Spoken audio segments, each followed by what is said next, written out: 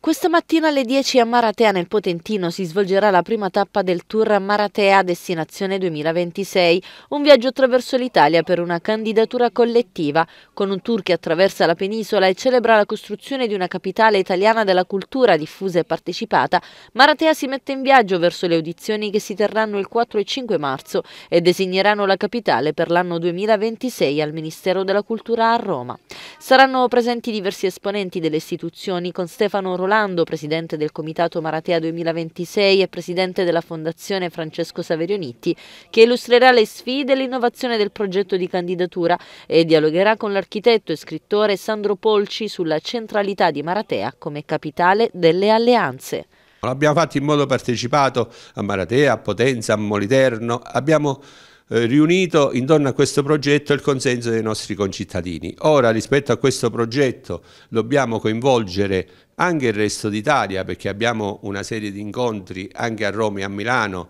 e concluderemo a Potenza per dire che cosa? Che questa città che ha da un punto di vista ambientale è stata tutelata perché abbiamo 32 km di costa e un mare incontaminato e abbiamo tanti elementi per poter dire che Maratea si è innovata. Abbiamo la storia che percorrendo Maratea emerge da sola,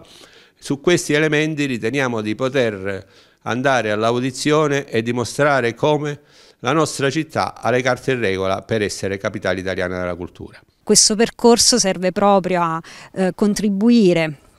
a far nascere nuovi legami e a rafforzare i legami che già sono esistenti su questa candidatura, rafforzare il brand Maratea, rafforzare il brand Basilicata e ovviamente puntando ad essere capitale italiana della cultura, dare un modello all'Italia di come una piccola città ma con una grande storia può effettivamente fare la differenza. Si lavora quindi per un sogno che può diventare realtà. Assolutamente sì, già essere entrati nella short list è già quello un primo grande obiettivo che ci consente di sperare che a fine marzo possiamo essere noi la capitale italiana della cultura per il 2026.